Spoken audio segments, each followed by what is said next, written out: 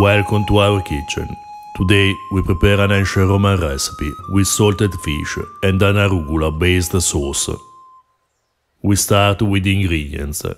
We need salted fish, dates, walnuts, a bit of honey, white wine vinegar, olive oil, and spices, mustard seeds, and black pepper.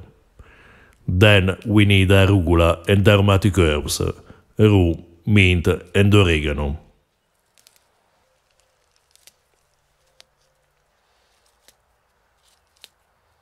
The author doesn't specify the amount or the ratio of herbs. We chose to enhance the arugula flavor. If you use a good amount of arugula, we suggest not to exceed with rue. They both have a slightly bitter flavor, which can overpower the other ingredients. Indeed, if you don't have a rue, arugula can be a good substitute.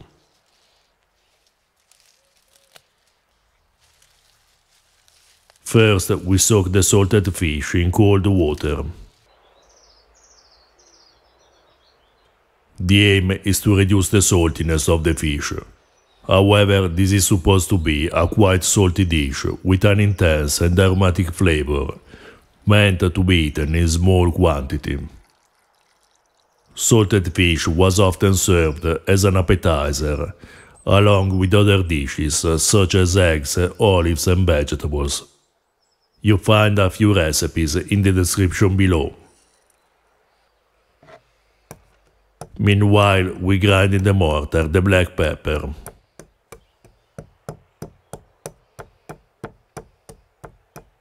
The original recipe is meant for salted grey mullet. We substitute it with salted anchovies.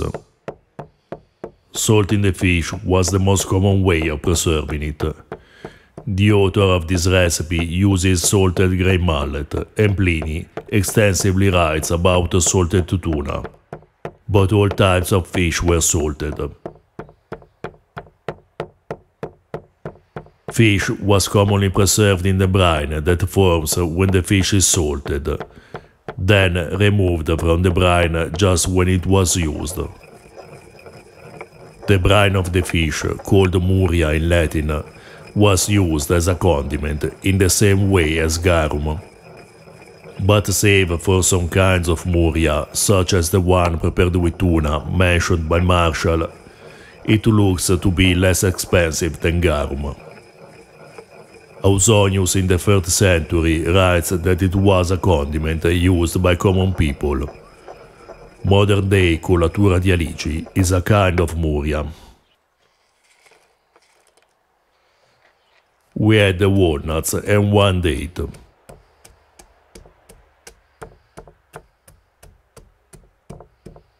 The author uses a type of nut called Nux calva in Latin.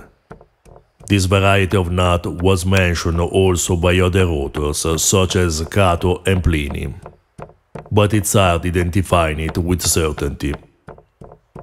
We are quite sure that Nux calva is not a variety of pine nut, because in some recipes the author uses just one of these nuts.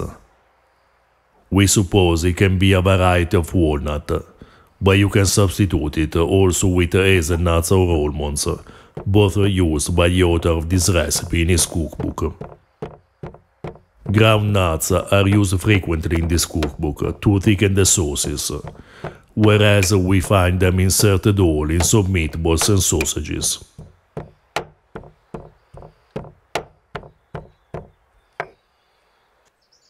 We mix the fresh herbs and the arugula.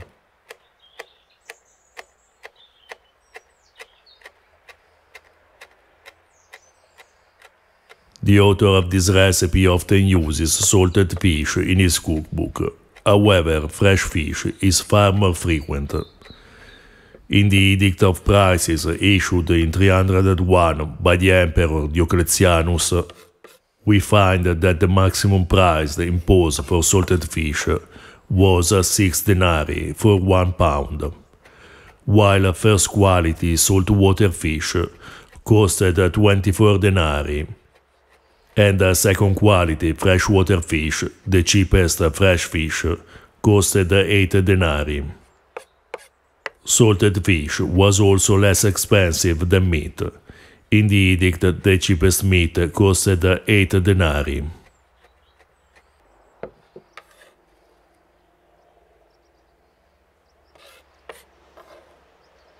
To put these prices into perspective, we can compare the 6 denarii of 1 pound of salted fish, about 330 grams, with the prices of cereals.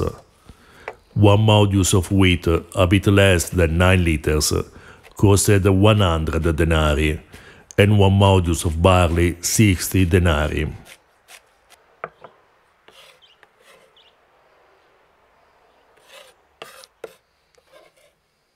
Then we pounded the fresh herbs and the arugula in the mortar.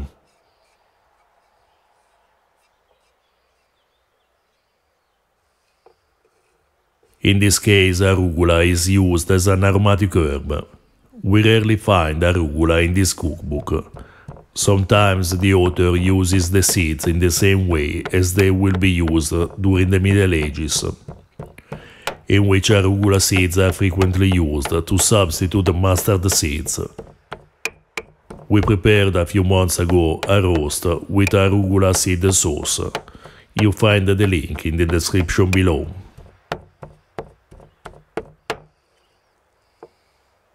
Now we prepare a simple mustard with mustard seeds, honey, white wine vinegar and olive oil.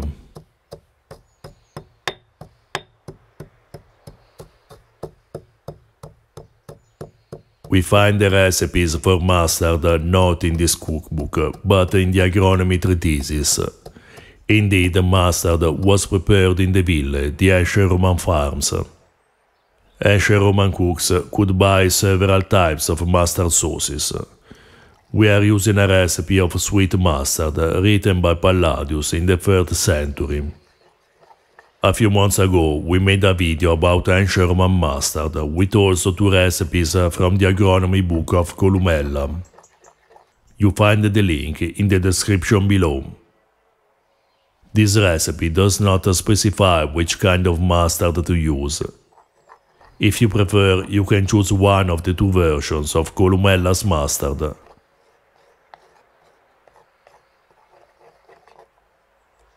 We add the mustard, a bit of honey, vinegar and olive oil.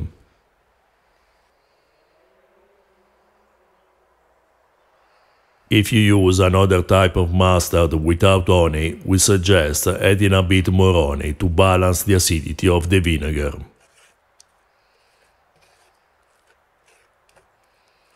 We suggest to taste the sauce to check if it is well balanced and if necessary add the flavors that are missing spicy, sweet, sour or salty.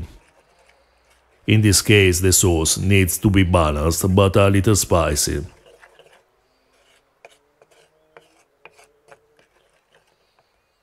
Now we briefly simmer the fish.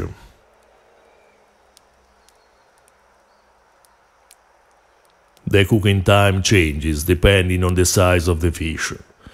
For small fishes such as anchovies, 30 seconds or even less will be enough. If you cook the salted fish for too long, it quickly begins to dissolve in the water.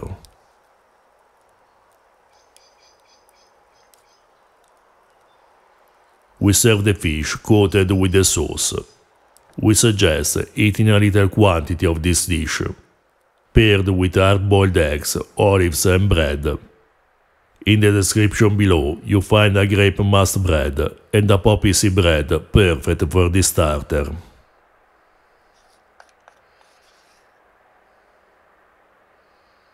This spicy and aromatic starter is the perfect way to begin your ancient Roman meal, with a combination of flavors well balanced and intense. If you're interested in ancient foods and flavors, or you're just looking for unusual and delicious recipes, please subscribe our channel.